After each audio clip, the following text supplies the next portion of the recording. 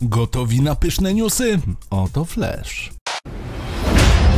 Już w najbliższą sobotę w otwartej becie Call of Duty Modern Warfare pojawi się tryb Ground War, przewidujący miejsce dla 64 graczy mogących robić sobie kuku na ogromnej mapie tak karabinami, jak i czołgami czy helikopterami, a wszystko to by przetestować minimapę.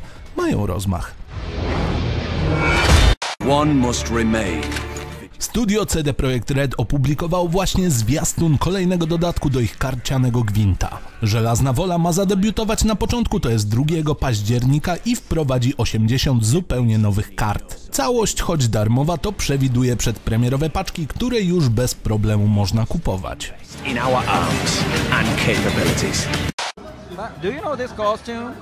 Czy są na sali obecni jacyś fani Dragon Ball? To tak się składa, że w sieci wylądował gameplay z Kakarot Z prezentujący otwarty świat tegoż ciekawie zapowiadającego się RPGa. Mamy zatem 13 minut latania, wykonywania questa i widowiskowej walki z perspektywy Vegety. Kwestii nowych gameplayów możemy także rzucić okiem na świeże 20 minut z The Outer Worlds, podczas których zobaczymy jak wygląda ekwipunek czy rozmowy z NPC-tami. Drugim jest również prosto z Tokyo Game Show 50 minut z Death Stranding i kryjówką bohatera. も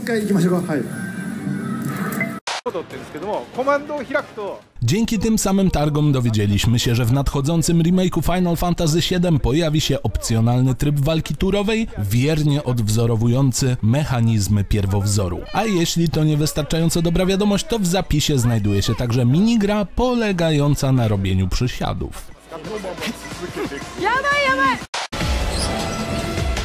Pod naporem zatroskanych wiadomości fanów Resident Evil, producent Project Resistance zabrał głos mający uspokoić wszystkich. Gra mimo odrobinę innego charakteru wciąż pozostaje wierna duchowi survival horroru i choć zaoferuje nowe rozwiązania, to wciąż będzie dostarczała interesujących wrażeń.